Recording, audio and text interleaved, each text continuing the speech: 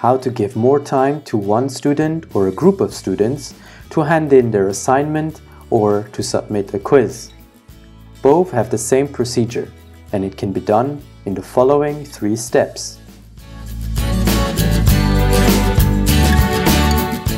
Step 1. Under Quiz or Assignment Administration, you click on User Overrides if it's for just one user, or if you have a group set up, you can click on Group Overrides.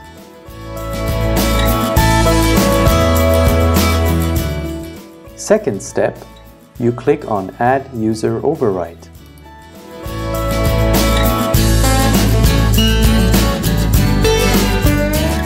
Thirdly, you select the user or search for his or her name. In the quiz, you can give a different closing time and also extend the timing of the quiz and you can adjust also how many attempts are allowed. Then you click Save.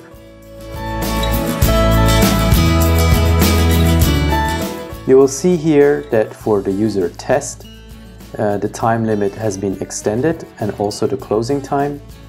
And you can always edit those settings or delete them or duplicate them for another user if you wish.